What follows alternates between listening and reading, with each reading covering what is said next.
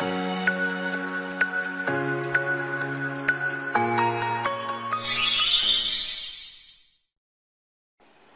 い、こんにちは、レトスノーノです。えー、今回なんですけども、宅建業法の宅地の定義について解説いたします。えっ、ー、と、この内容非常に重要です。もうストレートに宅地の定義について問う問題もあるんですけれども、あの、宅建業法の免許が必要かどうか、まあ、宅建業法の免許の要否と呼ばれるところなんですけども、そこにも関連してくる内容なんですね。なので、この宅地の定義って非常に重要になってきます。なので、まあ、しっかり頭に入れていただければと思うんですけども、まず、宅地ってどんなものを言うのか。これは宅建業法上の宅地です。あの、他の法律にも宅地の定義があるんですけども、それとは違うんですね。例えば、宅地造成等規制法っていう法律があります。これは法令上の制限の部分で勉強するんですけども、その宅地造成等規制法の、え宅地と宅建業法の宅地では、えー、内容が違うんですね。まあ、どういったものを宅地というのかというと、これは法律によって違うんですよ。なので今回は宅建業法上の宅地の定義です。宅地ってどんなものなのかをお伝えします。二つあります。二つ。どちらか一方でも満たしたら、その土地っていうのは宅地になりますよってことです。どっちか一方満たしたら宅地に当たります。まず一つ目。建物の敷地に供される土地まず、何々に供される。これがですね、えー、何のことかわからないと。何を言ってんのかわからないという方、意外と多いと思うんですね。これ言い換えると、何々として利用されるっていう意味です。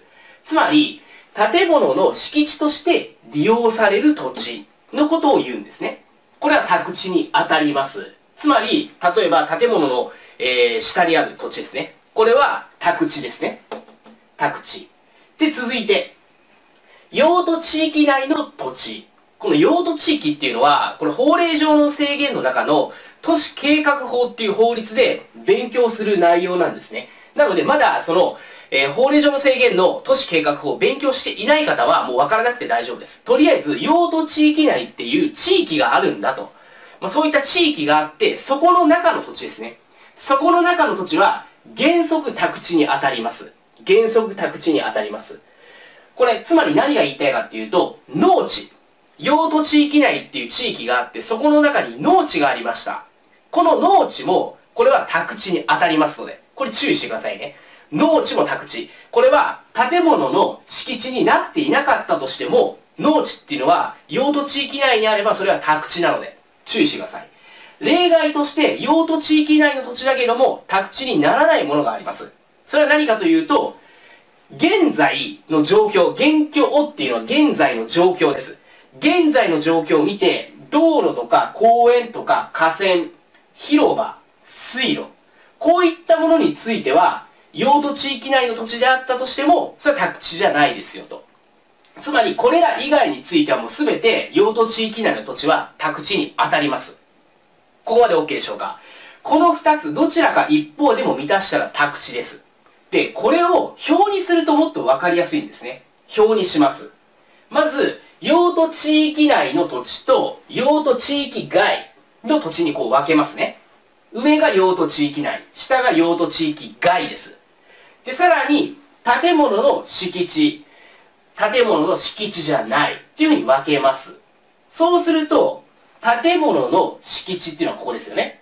この、えー、列っていうのかな。この列っていうのは1番に当たりますので、どっちも宅地ですね。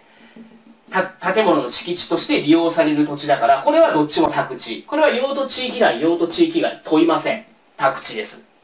で、じゃあ、建物の敷地じゃないところはどうかっていうと、まず、用途地域内で建物の敷地じゃないものっていうのはどうなのかっていうと、これは原則宅地ですよね。これ原則宅地って言いましたよね。例外的に道路、公園、河川、広場、水路っていうのは、これは宅地じゃないです。だから例外はあります。でも原則宅地です。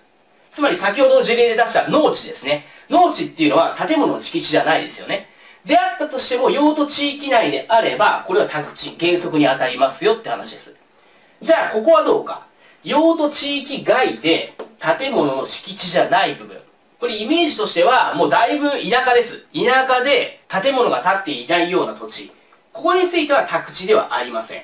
これは1番、2番、どっちも満たさないですよね。建物の敷地として利用されているかって言ったら、これ利用されていません。また、用途地域外なので、ここにも当たりません。だから、宅地じゃありませんよっていうことです。だから、この2つどちらかを満たしたら宅地に当たって、どちらを満たさない場合は宅地じゃないよって話です。それを表にしたら、こういった表になります。なので、まあ、この表を覚えてもいいですし、この1番、2番、これをそれぞれ覚えていただいてもどちらでもいいです。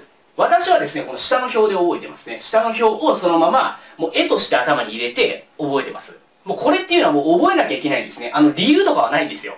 理由とかはありませんので、もうこれはそのまま覚えていただく。どちらか一方覚えていただければ大丈夫です。なのでぜひですね、何回か復習して覚えていただければと思います。そして最後にお知らせです。試験まで約3ヶ月。そろそろ実力はついてきていますでしょうか？実際弊社の受講師さんは、すでに模試を行っていただいて、コンスタントに40点前後取っていただいている方もいらっしゃいます。勉強の仕方を間違えなければ、宅建試験は4ヶ月あれば一発で合格できます。弊社の受講者の中でも、中卒で元飛び職、法律知識が全くゼロ。この方は7月中旬から受講していただいて、たった3ヶ月で一発合格しました。この方でも3ヶ月で1回で合格できる資格なんで、あなたも今年合格できます。勉強始めたはいいけれども、なかなか理解できない。解けない問題がたくさんある。今年合格できるか不安。でも絶対今年合格したい。もしあなたがそう思っているのであれば、短期集中実用カップ講座はおすすめです。理解すべき内容は解説に書いてあります。具体例、考え方、関連ポイント、一緒に解説に書いてあります。わかりづらい部分もわかりやすく噛み砕いて解説してあります。もしそれでもわからない場合は、直接私にご質問いただければ解説させていただきます。今からでも今年あなたに合格していただく自信ありますので、一緒に勉強できたら嬉しいです。短期集中実用カップ講座はこの動画の下の概要欄に URL 貼っておきますんで、ぜひご確認ください。あなたの受講をお待ちしております。宅建合格目指して一緒に頑張っていきましょう